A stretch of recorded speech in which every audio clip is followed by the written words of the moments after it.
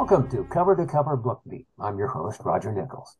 Back when the Godfather movies came out, they created larger than life figures and built myths around the mafia, Cosa Nostra, or whatever you want to call organized crime.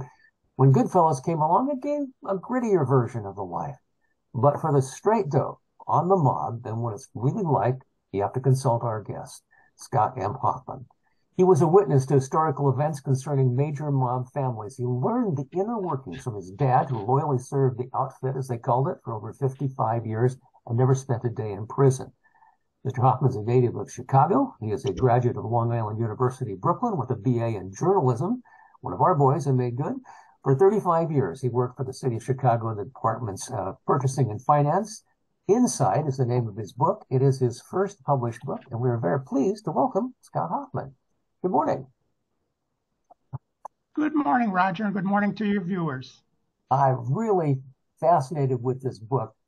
Uh, so many questions. It, it's pretty obvious to start with. The Hoffman is not an Italian name, so while your father could serve the outfit, no. as you call it, he could never be a made man. Is that the way it works? That's correct. Because to be a made made man, you have to be Italian, 100% on both sides, mm-hmm. mother and father, and really uh, grandmother, grandfather. So you have to be uh, Italian on both sides. Okay. And it's yeah. kind of interesting because uh, uh, uh, black hands, uh, which were extortionists in the 20s and 30s and later on, and they were all Sicilians, and they would tolerate, from what my father would say, Northern Italians, but never wanted to put them in any position of authority. They wouldn't accept them for that. So it was quite a differential, uh, you know, concerning non-Italians. Oh, interesting aspect of it. Now, the book's written as a novel with your viewpoint character, Bobby Williams, standing in for you and his father, Jimmy Williams, standing in for your father. How long did you have to think about the wisdom of sharing some of these stories, even disguised as they are? Well, you know, when I retired from the city of Chicago, as all retirees, you need some activity. You need to keep your mind and also your body alert. And I knew, I thought about what was the subject that I knew the best about and this was the subject I knew the best about. So I retired on June 30th, 2012, and on July 3rd, uh, 2012, I started writing 7:30 in the morning till 8:30 in the morning. As my book turned out to be 880 handwritten pages, I don't know how to do it on the computer, but as I, I'm writing it, everything is coming back to me from 50, maybe 60 years, close to 60 years. It's just like it's happening right now, right in front of me. So it wasn't something where I had to make a lot of notes and look back. I, everything was, I, the recall was coming back very quickly. How long did it take you to write the book once you decided to do so? 800 written, handwritten pages takes a bit of time. Yes, it does. It was about two years, a little over two years, mm-hmm. Because that was the draft, and then I had to rewrite it after going through the draft. So it was a little over two years. Yeah most authors I talk to say it isn't the writing, it's the rewriting that makes the novel. So, um, what's been the reaction? I'm sure there are people who knew your father's connections and yours to him. Were there any concerns about that? No, not really, because as I tell people, either they're dead or they're in jail or they can't read. so it's, uh, uh, you know, most most of the people, there are very very few people left that would, uh, you know, say no, my father. Mm-hmm. And uh, of course, because of uh, you know the, the uh, G, or as, as, it, as the government is called, I have no involvement with them, though I hear things on the mob grapevine, but I have no involvement because of continuous investigations on these guys, and uh, something you not do not be part of.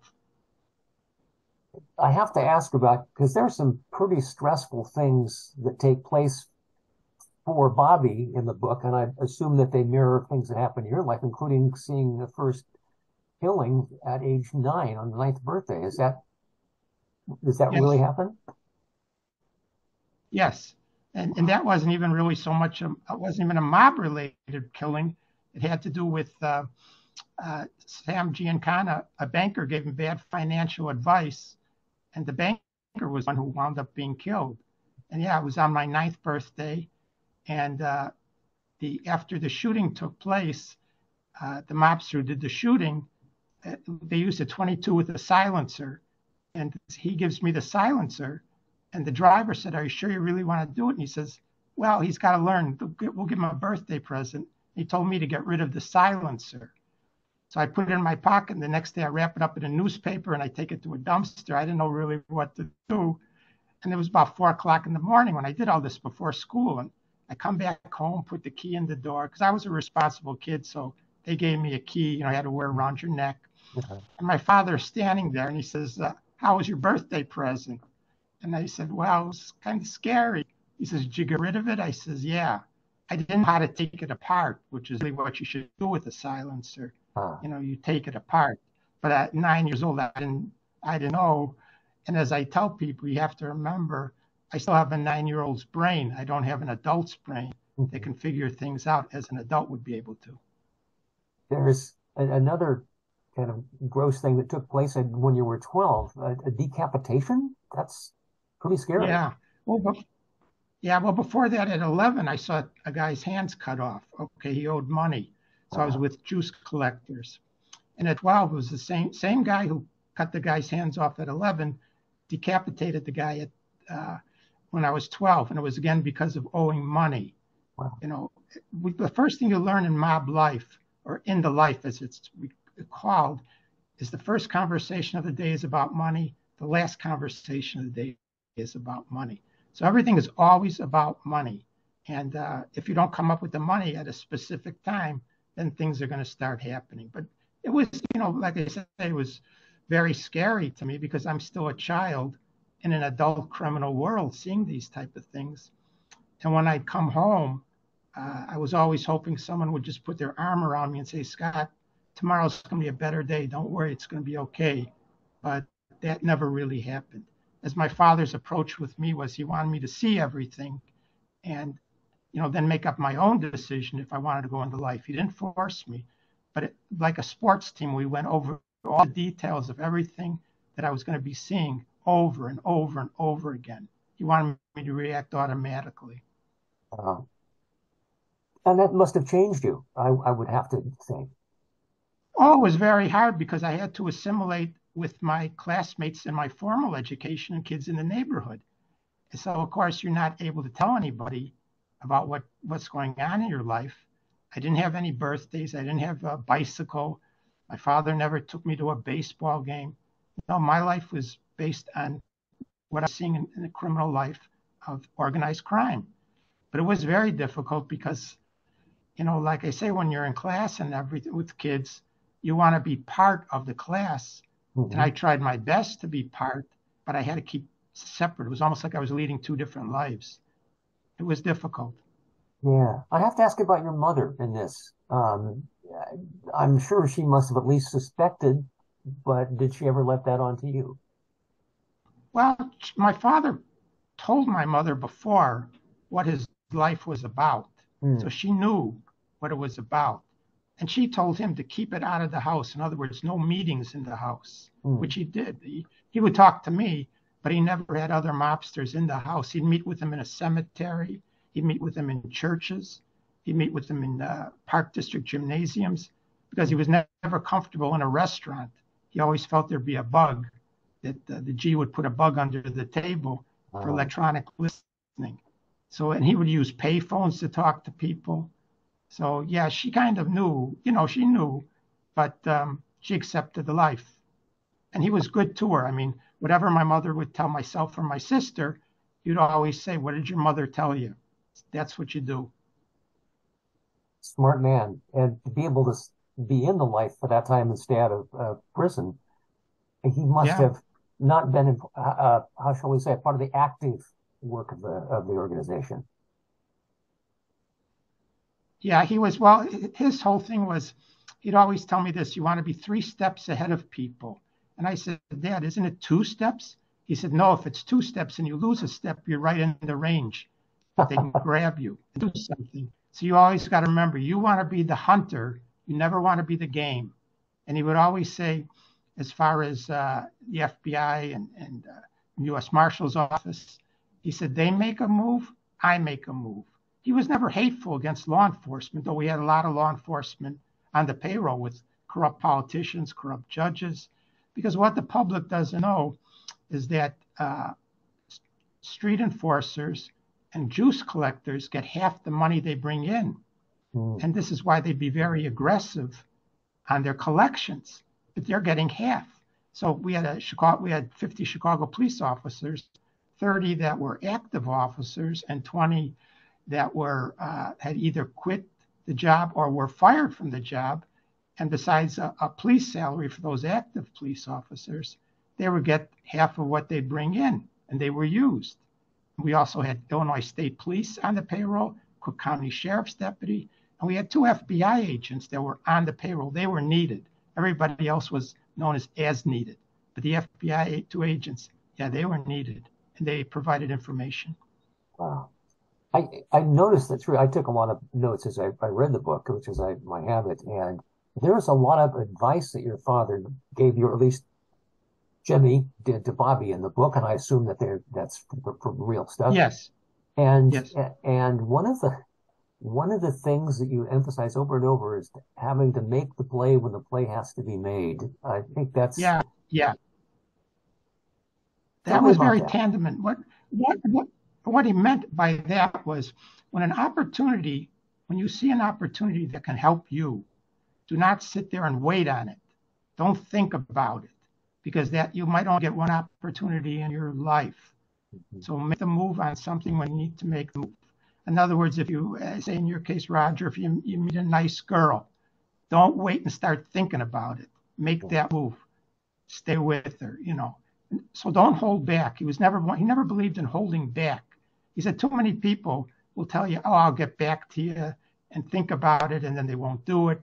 And then later on in life, they'll be complaining, "Well, I had an opportunity." And my father would look him in the face and says, "Then why didn't you take it? Why didn't you make the play when the play had to be made?"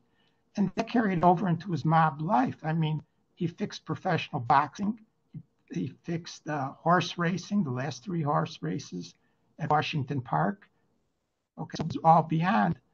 And as I tell people, every mob family has a rule: cops and kids are off limits. But that didn't apply to me because the outfit at its height was bringing in $200 million a year from all their illegal activities. 100 million of the year was coming from Las Vegas. And the Las Vegas money was not only the casinos. My father was getting money, a percentage of the companies, the ancillary companies, you know, the linen company, the food company. Mm-hmm. And also he set up um, what he referred to as off-street betting with bookies.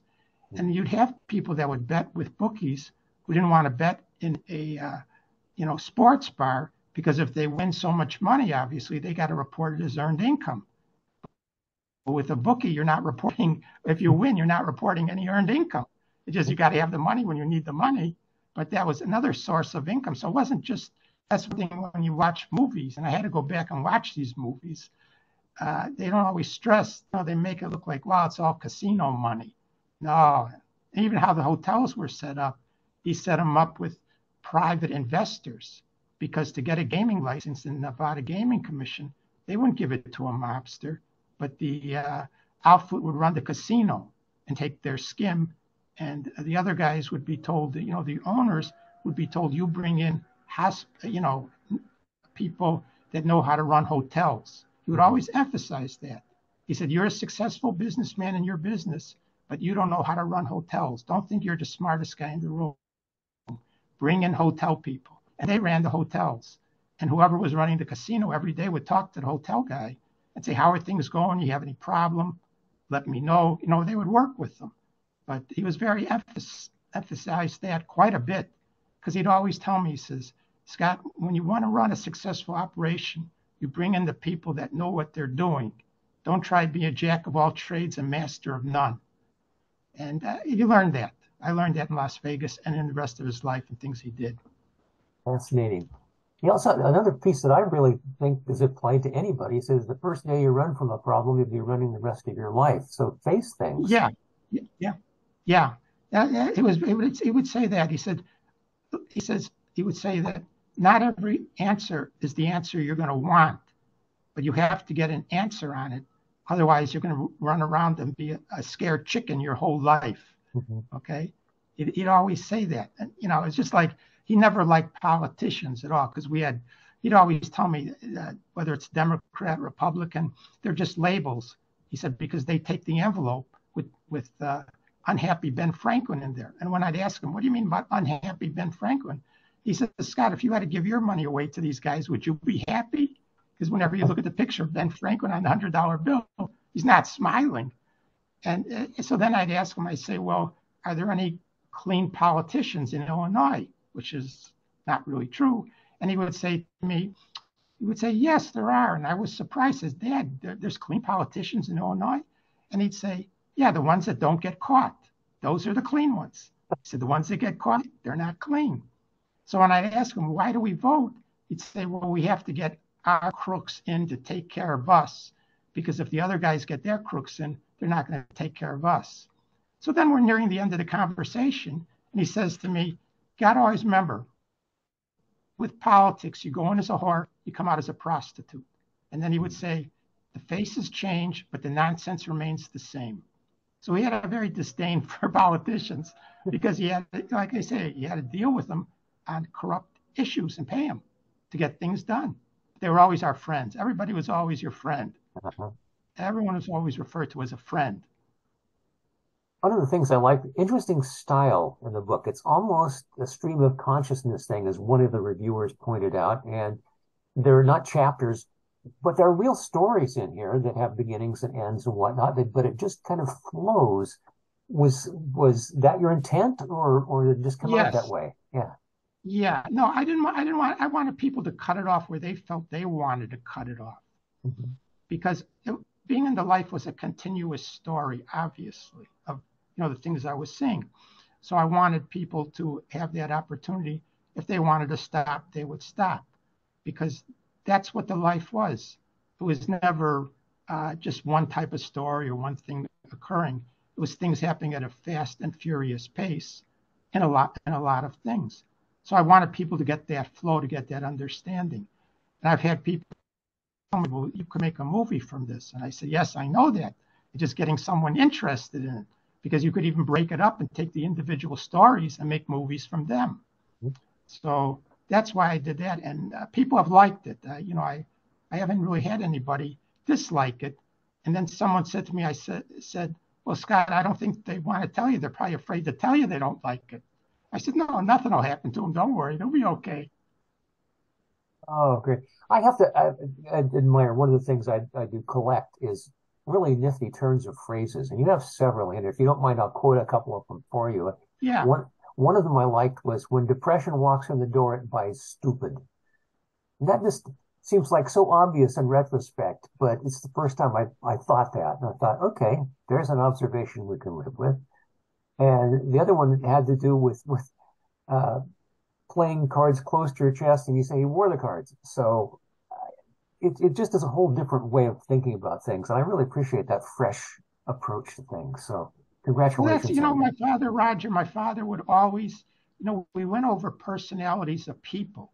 Mm-hmm. That was another thing which was a life experience in that respect. In other words, we would talk about the guy who wants to be the joker, the clown, the guy mm-hmm. who was maybe the backstabber, the one you tell at work about a, something, an idea you're thinking, and he runs into the boss and makes it like it's his idea, and he gets the promotion.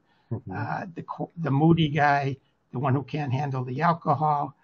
But he'd always tell me this, Scott. Always remember, of all the personalities you're going to meet in your life, there's one personality you always watch. Always watch this person, and that's the quiet one, because he'd say you mm-hmm. don't know what the quiet one is thinking everybody else, you'll hear through their mouth, you'll hear what they're talking.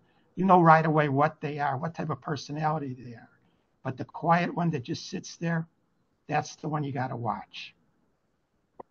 I have to ask this was there a lot of stuff you felt you had to leave out in recounting this? Well, there was there was two really there was two really main things. Uh, I had to water one down, and that was the one where uh, when I was 12 years old, I'm going with a juice collector, and he's looking for a guy, and we meet his wife, and she's pregnant. Oh, she was very, yeah. very advanced, and I had to water down what actually really happened because I always had this feeling that I didn't think an audience could stomach it, that they would get nauseous, that they found out what physically really happened to her. Okay. And so that had to be watered down. And the other thing was what they would do to dogs. That was another thing.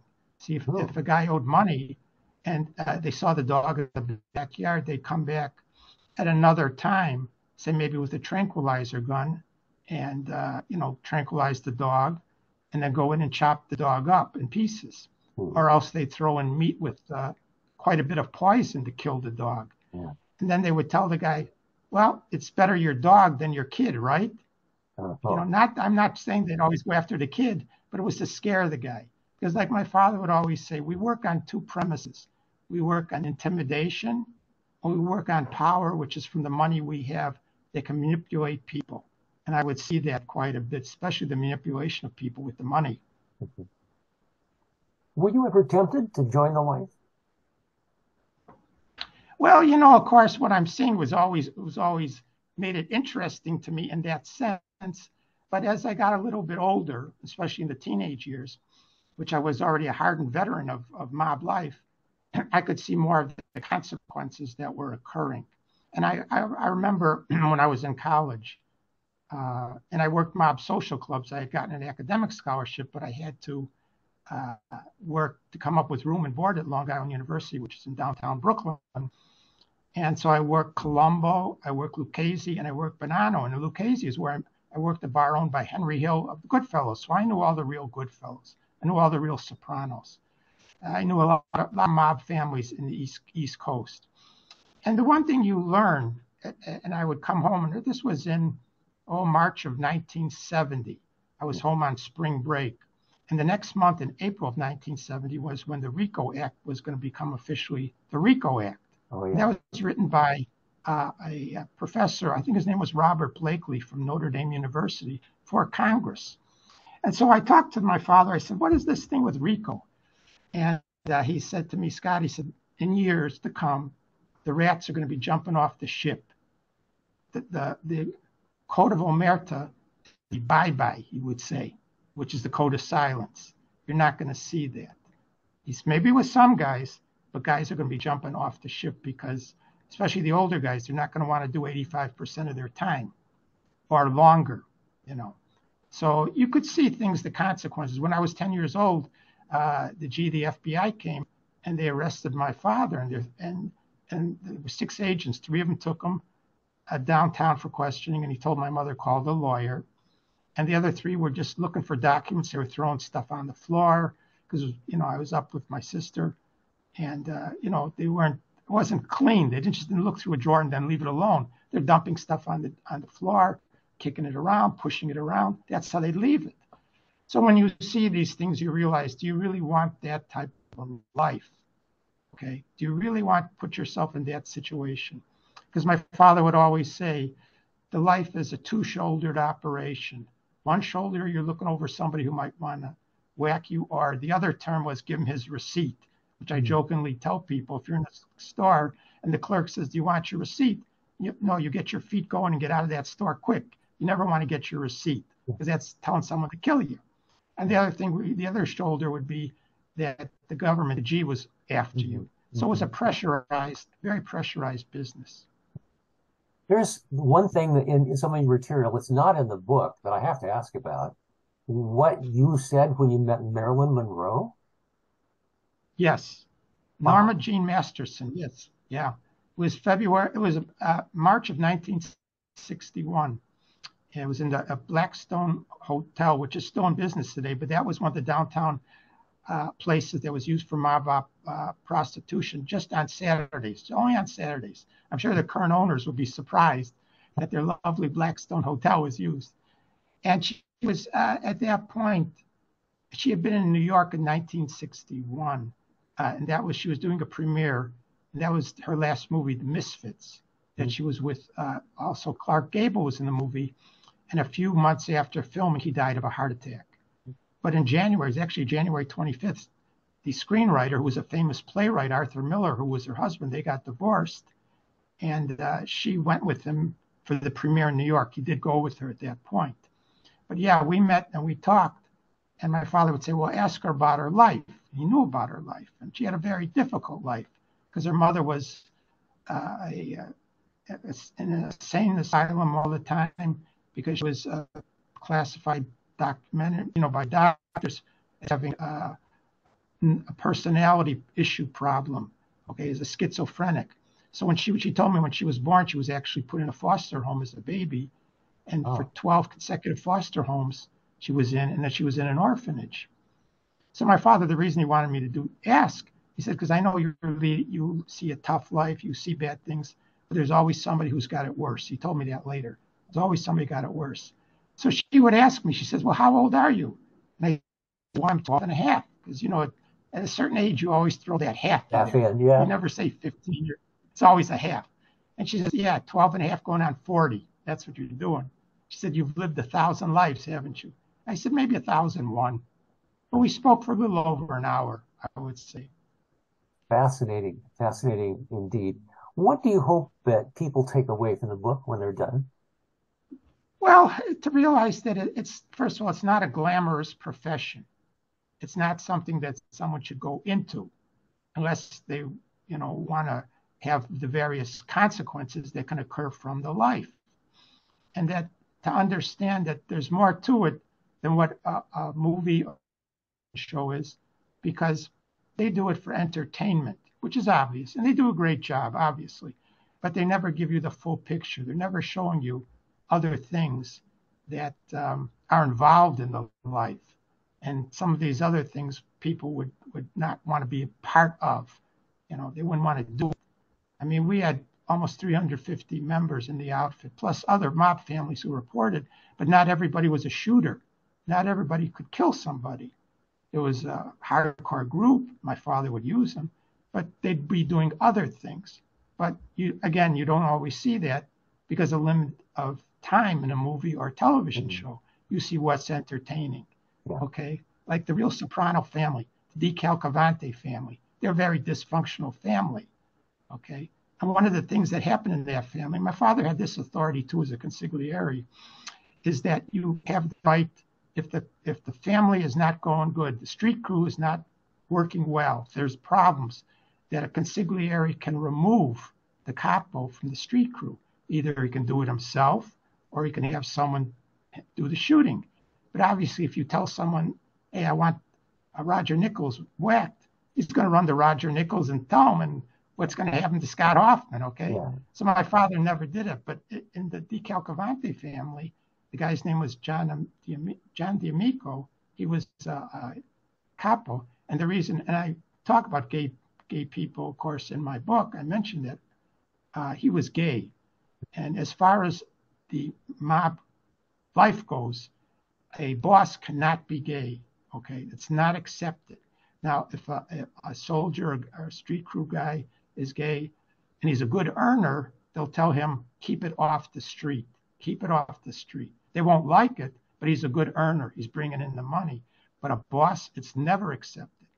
And what happened to D'Amico was his consigliere killed him, and several decades later was arrested and tried and convicted for the murder. So it, you know, it happens. I mean, Tony Accardo, who became uh, the consigliere of the whole outfit, not just a uh, individual group. When he, I remember when he removed, you know, Sam Giancana, and he, he told me his time was up, and I remember that meeting. So there was, you know, there was a lot of things, like I said, that go on that uh, if people knew, they wouldn't, they wouldn't want to be involved. That, I wouldn't want them involved.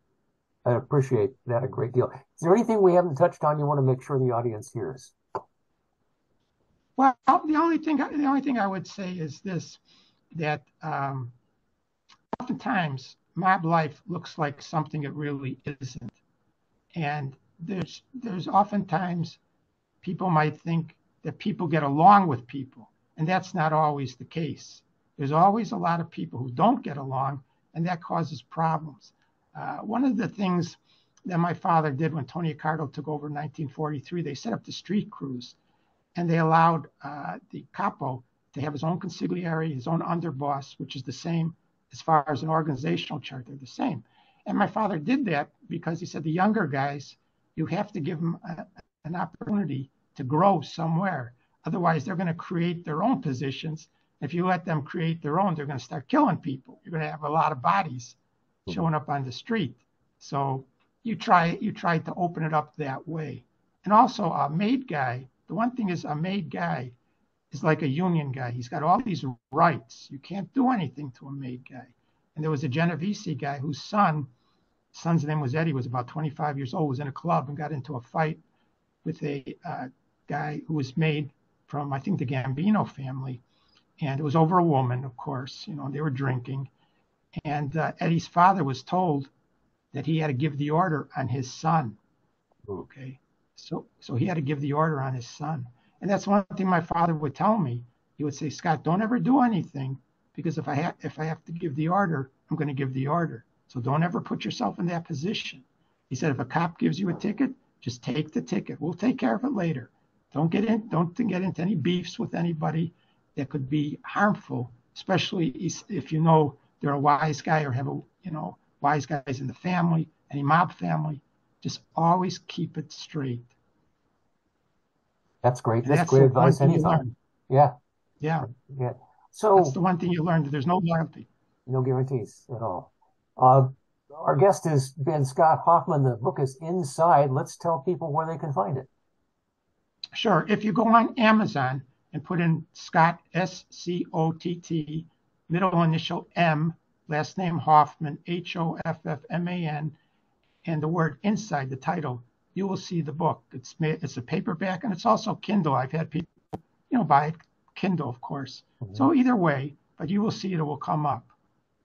It it is, and it is a powerful read. Uh, it's it's not a short book. It'll take you some time to get through it, and sometimes you have to put it down for a while. I will say that because it you just have to absorb some of it. But it's fascinating.